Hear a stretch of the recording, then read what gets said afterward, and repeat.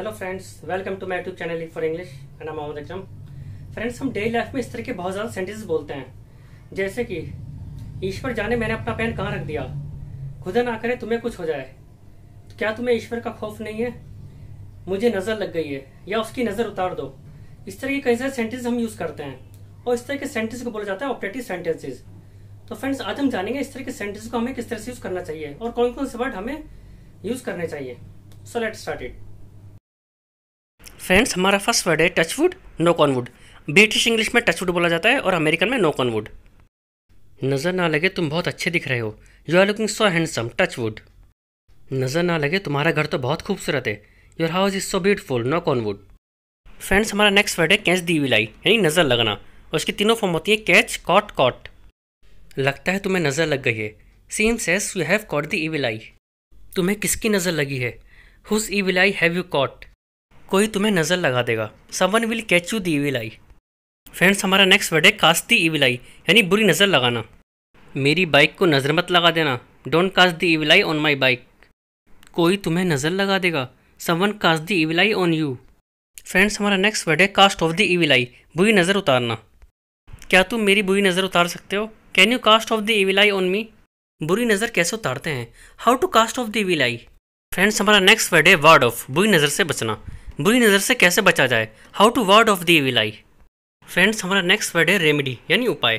क्या बुरी नज़र से बचने का कोई उपाय है? Is there any remedy to ward off the evil eye friends हमारा नेक्स्ट वर्ड है चाम यानी नज़र बट्टू। फ्रेंड्स आपने देखा होगा कुछ लोग घर के आगे अपने नींबू और मिर्च टांग के रखते हैं, उसको नज़र बट्टू बोला जाता है। तुमने ये नज़र बट्टू अपने घर के बाहर क्यों टांगा हुआ है? Why are you hanging this charm outside your home तुम्हें ये नज़र बट्टू कहाँ से मिला? Where did you find this charm friends हमारा नेक्स्ट वर्ड है एम्यूलेट क्या तुमने तावीज़ पहना हुआ है? Are you wearing an amulet friends हमारा नेक्स्ट वर्ड है जीन्स ये जगह उसके लिए मनूस है. This place is jinx for him यहाँ पर हमने सेकंड फॉर्म का यूज़ किया है. फ्रेंड्स हमारा नेक्स्ट वर्ड है बैड ओमन क्या तुम अपशगुन में विश्वास रखते हो? Do you believe in bad omen friends हमारा नेक्स्ट वर्ड है गुड ओमन ये तुम्हारे लिए अच्छा शगुन है. This is a good omen for you friends हमारा नेक्स्ट वर्ड है सुपरस्टिशियस वह अंधविश्वासी है. ही सुपरस्टिशियस फ्रेंड्स हमारा नेक्स्ट वर्ड है कर्स उसे बदुआ मत दो। डोंट कर्स हिम फ्रेंड्स हमारा नेक्स्ट वर्ड है ब्लेसिंग यानी दुआ। आपकी दुआएँ हमेशा मेरे साथ रहें। May your blessings always be with me friends हमारा नेक्स्ट वर्ड है फॉर गॉड सेक खुदा के लिए या ईश्वर के लिए? ईश्वर के लिए मुझे छोड़ दो। Leave me for God sake ईश्वर के लिए उसे जाने दो।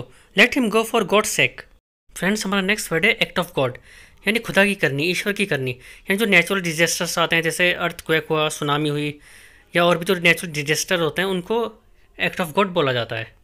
यही तो ईश्वर की करनी है। It's an act of God friends हमारा नेक्स्ट वर्ड है गॉड फॉरबिट ईश्वर ना करे। ईश्वर ना करे, तुम फेल हो जाओ। God forbid you fail friends हमारा नेक्स्ट वर्ड है गॉड विलिंग ईश्वर ने चाहा तो तुम्हें टीम में चुन लिया जाएगा। God willing you will be selected in the team God knows ईश्वर जाने में कहाँ रहता है? God knows where he lives friends हमारा नेक्स्ट वर्ड है गॉड फियरिंग क्या तुम्हें ईश्वर का डर नहीं? Don't to fear of God friends हमारा नेक्स्ट वर्ड है by the grace of God ईश्वर की कृपा से वह पास हो गया।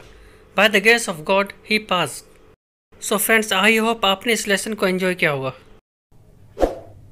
तो फ्रेंड्स इस चैनल को सब्सक्राइब करना मत भूलिएगा, साथ ही बेल आइकन को भी प्रेस कर दीजिएगा। ताकि जैसे मैं कोई इंग्लिश वीडियो अपलोड करूँ आपको इंस्टेंटली मिल जाए।